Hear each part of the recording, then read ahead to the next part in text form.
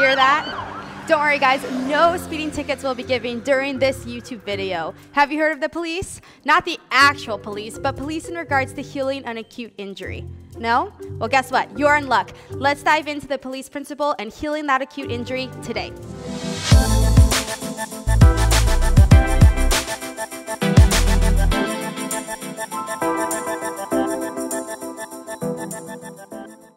Hey prehabbers, happy Tuesday. Welcome back to the channel. Dr. Lauren Linus here, and today let's talk about police. And no, not the actual police. We're going to talk about the police principle and how that applies to acute injuries. So, what is an acute injury? An acute injury is an injury that has happened within the past six days, okay? During this time, super important to manage these injuries appropriately. I know I've had several acute injuries in the past, one of them being ankle sprains. If you have dealt with an ankle sprain, go ahead, like, subscribe, because today I want to show you how we can apply the police principle to help to heal that ankle sprain in the most effective way. We know that ankle sprains actually account for about 60% of sports related injuries. And as I mentioned, really important to manage these injuries from the get go. So let's talk about the police. Police stands for protect. Okay, we want to protect the injury. Optimal load, we'll get into that with the exercises. Ice, compression, and elevate. Now, you may have heard of the RICE principle, right? Rest, ice compression elevates. So ice compressing and elevating is still important for about the first 48 to 72 hours. What we really want to dig into today is the protect and the optimal load in regards to that ankle sprain injury. So let's get started. I want to show you guys a few exercises to start with early on in the rehab process, and then once we get out of that acute injury stage, a few exercises that you can do moving forward. All right, prehabber. So let's dive into those exercises that you want to do during that acute phase of healing, okay? That first zero to six days after you have that ankle sprain. Now, again, as I mentioned, really important to protect that joint, but also load it in a way that's going to promote tissue healing and also get you back to doing what you want to do quicker. So let's start with crossing that involved ankle over the other leg. From here, we're going to do some isometric loading. Really, really good way to promote healthy blood flow in through the injured tissue, but also to encourage loading, optimal loading to speed up that recovery process. So let's start with hands gonna go on the top of your toes here. Now my ankle isn't gonna move. I'm gently gonna apply pressure, about 50 to 75% of what I feel like I could do into my hand. I'm pushing my toes up into my hands. From here, you're gonna hold for about five to 10 seconds and relax. Okay, you're gonna shoot for about five to 10 of these, gently pushing the toes up into my hand. Again, my ankle's not going anywhere. I'm just pushing into my hands. We're loading, we're isometrically loading those tendons and ligaments as well as the muscles. From here, hand's gonna go on the ball of your foot, okay? Now you're gonna push down into your hand. Again, we're pushing for about five to 10 seconds at what feels comfortable, about, about 50 to 75% of what you could feel like you could do. And we're gonna do five to 10 of these.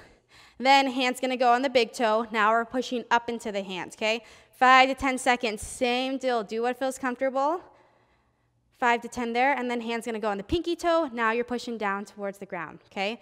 Same idea, five to 10 seconds. Try about five to 10 of them. Okay, we really, again, we wanna load those tendons, those ligaments, those muscles in a way that's going to promote healthy blood flow, speed up the healing process, and get you back to doing what you wanna do, okay? Exercise number one for the acute phase. From here, we want to try a few exercises in standing. So be close to a chair, a counter, your bed, whatever you feel like you need, just to have some support if you need it. Then we're going to gently rock our weight side to side. So my affected ankle will be my right one here. And again, we're putting about 50 to 75% of my body weight. That's what the chair is for. Okay? Again, we're loading, we're loading, we're loading in a way that is comfortable and will help to promote tissue healing.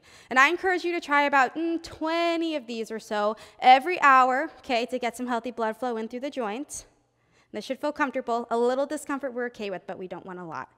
Okay, try 20.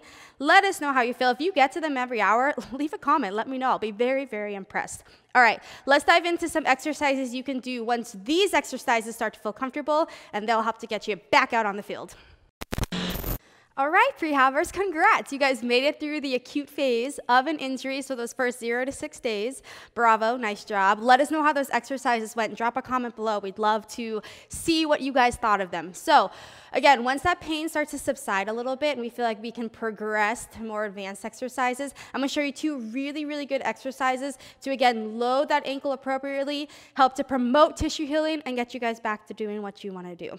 First one we're gonna do, we're gonna stand on that involved ankle. So again, that would be my right ankle.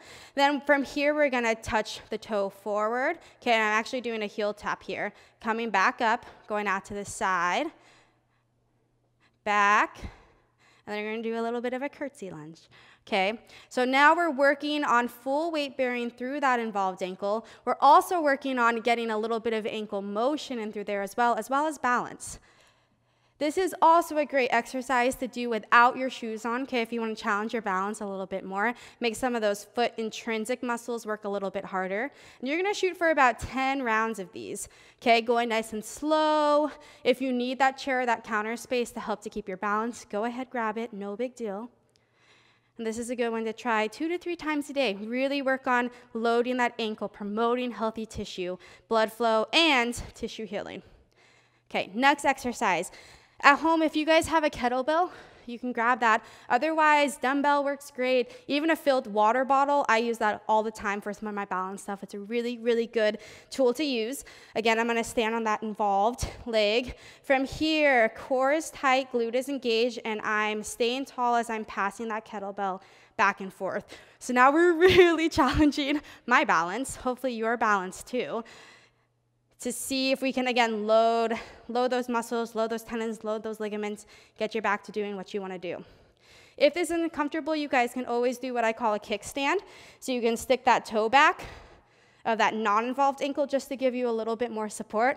But try it. This is a tough one and you're going to shoot for about 15 to 20 passes side to side okay?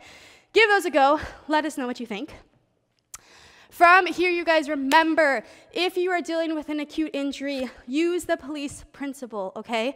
It can help to get you back to doing what you want to do quicker and with a better recovery. If you are interested in rehabbing that ankle sprain even further, check out our ankle prehab program here and go ahead, like, subscribe, leave a comment, let us know what you think, and we plan to see you all next Tuesday.